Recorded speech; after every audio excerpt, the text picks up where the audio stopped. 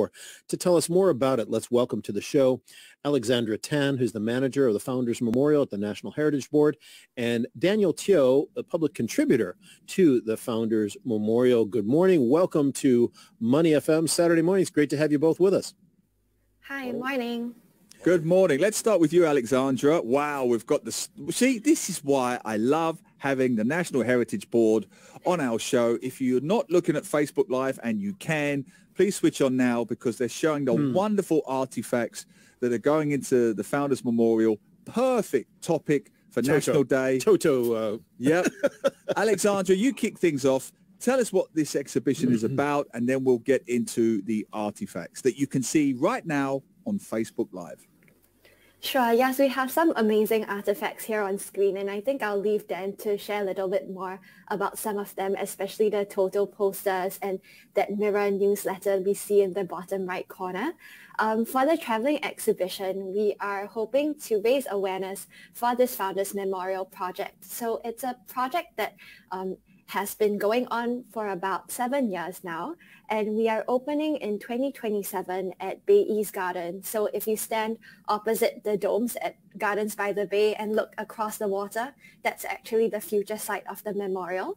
So for the traveling exhibition, we hope to give people around Singapore a taste of what that memorial will hold um, and that it seeks to honor the legacy of our founding leaders and capture some of our key milestones from the 1950s to 1970s and ultimately encourage people to share their artifacts and stories like the ones we see here for the mm. Founders Memorial so that we can enrich the content that we have in our galleries and the stories that we will tell there. Wonderful. But just before we get to Dan, Alexandra, I'm just curious, when you sent out this call to the public for artifacts for the mm. Founders Memorial, were there any guidelines or suggestions or hmm. I, I, can't imagine it was a complete free for all or, or, was it what what were the sort of recommendations or suggestions you asked the public in terms of artifacts yeah, that's right. We actually went out with a wish list as well. So if people are curious about what's oh. on our wish list and to look at look at it in more detail, they can actually go on our Founders Memorial website where they can learn more. Um, broadly, we were looking at several themes. So the idea of multiculturalism and nation building, the idea of introducing our national symbol, so quite related to what you're talking about with our National um, Day songs. So that idea of mm. connecting that Singapore spirit into, into things that we recognize and celebrate.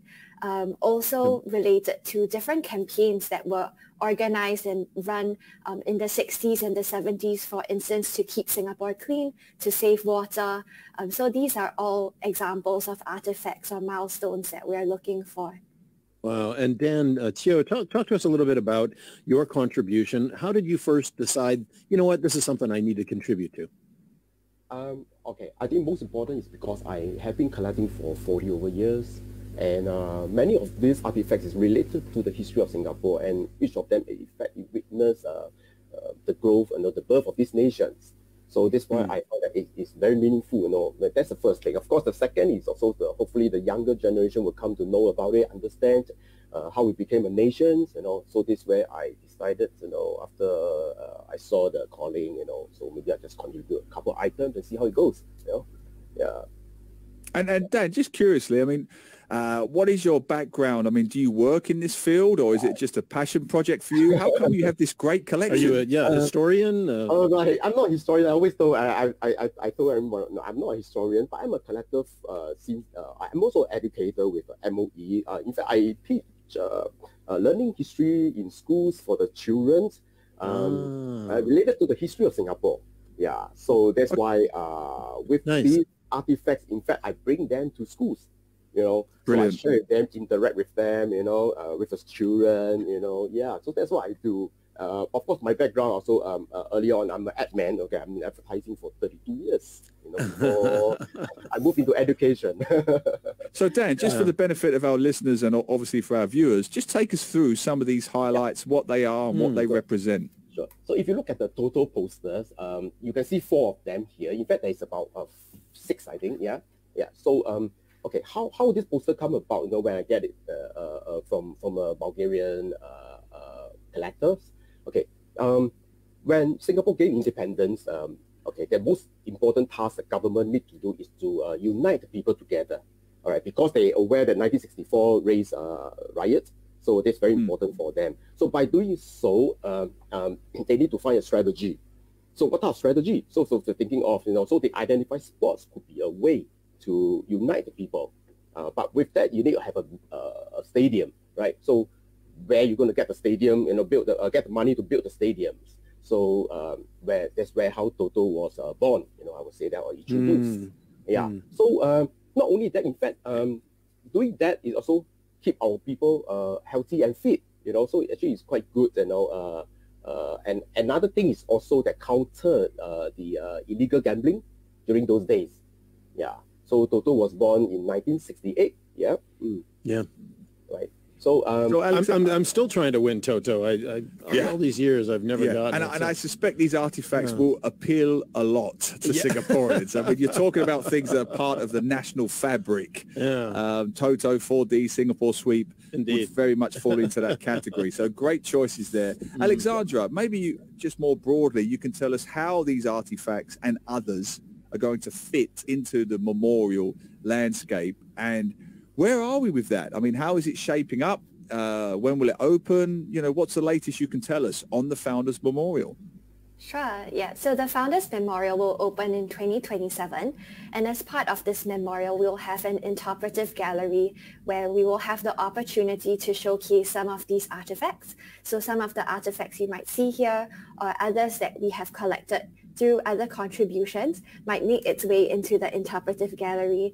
And as you mentioned, you know, the idea of Toto and other artifacts are something that connect with people. We see these visual points of reference as an opening to tell more stories and a way for people to connect their personal experiences, memories to broader national milestones. So we hope to use these artifacts to showcase that as well.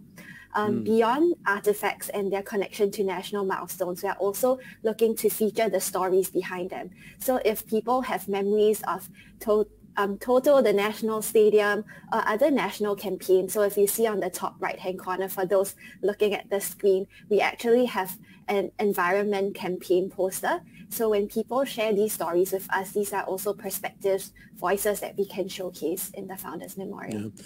Alexandra, is uh, correct me if I'm wrong. Is this the new memorial that's going to be at Gardens by the Bay East? Yeah. Yeah, that's right. Yeah, yeah. Okay, and so that's going to be 2027 is is when it will open. Yes. Okay, so we get we got a few. Yeah, we got a few years left, and I'm sure lots of folks out there are thinking, "Boy, I've collected a whole bunch of stuff over the years." Uh, you know, you can only imagine what some of the stuff is that people have collected for good, for better, and for worse.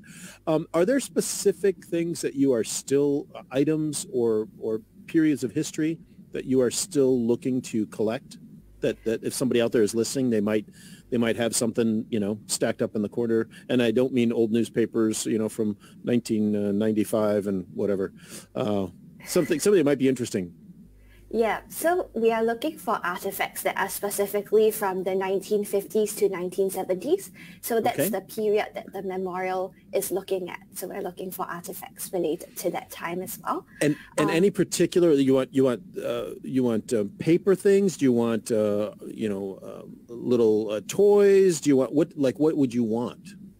In, uh, in, we're from... looking yeah, we're looking for a range, but we also are particularly interested in 3D artifacts. So beyond paper, things that we can display that have some kind of dimension to it.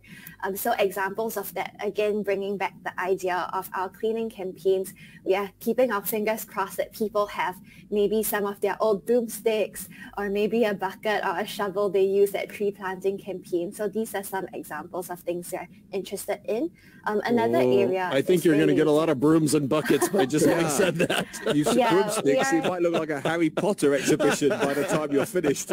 are you sure you want to put that on? Okay, go anyway. Carry are, on. yeah, we hope to get the stories as well. So we hmm. encourage mm. that when people share these artifacts with us, firstly, it's from the 1950s to 1970s, but also that they can tell us a little bit more about when that was used. So the events Nice. from the 1950s to 1970s and how they might have used it then, and maybe some photographs that come along with that as well. Wonderful. Yeah. Well, Glenn and Yeah. I had started the radio show about then, I think, it feels like. right. So we, we could talk about that. Yeah, our And memories. we of- got a broom here somewhere. yeah, we've got a broomstick and a bucket just over here. I must ask, because my journalistic background, the one in the bottom right-hand corner, I think it says The Mirror, uh, Yeah. either Alexandra or Dan. Tell us a bit about that briefly. All right. Uh, that, that was um, um, published in uh, 1969. In fact, it was the first uh, SAF Day. Those days we are called uh, Armed Forces Day. So it's a message uh, by this uh, our minister then uh, Minister of uh, for Defense and Internal, Lim Kim San. So he give a message to the SDF personnel, basically to uh, urge them, you know, to carry on the missions to establish a multiracial uh, society. So that, that's where it's, uh, which is there is civility, equality, prosperity, you know, etc., etc. Yeah. So that was Wow. pretty important. I find that it was the very first SAF day. Yeah, in the history of Singapore. Yeah. Fabulous. And just maybe Yeah, finally, really. Alexandra, where or how should people be sending these artifacts? Do they contact you first and say, I have A, B, and C. Do you want it? I mean, what, what is the process? I, I'm guessing you just don't want people dumping huge sacks of things outside of your office door. Yes, for sure. We want to make sure that sure. everything is stored properly, cared for. So right now we are encouraging people to take just photos of them and share these photos and more information about the artifacts and stories behind them through our online form, which can be found on our Founders Memorial website. So just to do a quick Google of that. Um, Yep. We also recognize that some of these artifacts might belong to um, seniors. So we also um, strongly encourage children, grandchildren to also ask their parents or grandparents if they have any of these things at home and to assist them with the submissions. And I know it's um, an, uh, a, uh, I'm not sure what the answer to this, but if they do contribute and donate these items, do they get them back or do they become part of the collection and you say, you know, uh, thank you to the whoever family for donating this? Yep. So it we work with each of the contributors individually. So it really depends on the arrangements that we come up with both on the memorials and in the contributors. If there's a donation and we display it, there will always be that credit line thanking that um, donor for the artifact. Oh, that's great. Well, thank you very much for your time today. We're really happy to uh, to know more about this, and, and we hope that everyone will contribute from the 1950s to the 1970s, but only the good stuff. Only the good stuff. Only. And speaking of good stuff, I'm putting you on the spot. Alexandra or Dan, what is your favourite National Day song? We've been having this discussion for the last 15 minutes. Off the top of your head, Dan first, what is your favourite National Day song? Uh, I, I, I, I, can't- wow, I, I can't remember so Like many. a of- true Singaporean, he can't remember them. I think you might not be alone, Dan. I think. uh, Alexandra, save us. What is yours? it's it's hard to pick, but I think I have to agree. Was it with your wife? I like Home too. That's my favorite. Yes, that's, Okay, that's so- a common right? choice. So- That's Chan, right? Yeah. So Dan, everything I am, we are Singapore, the road ahead, our Singapore Yeah, home, the road ahead will stronger be a together. good one. Yeah, the road ahead will be a good one for me. Yeah. I All right, there you go. Awesome. Thanks, Hey, guys. Thanks to you both, Alexandra Tan, uh, manager of Founders Memorial at the National Heritage Board, and Dan Teo, public contributor, also historian and teacher, educator uh, to the Founders Memorial. Thanks for being with us on Money FM Saturday morning.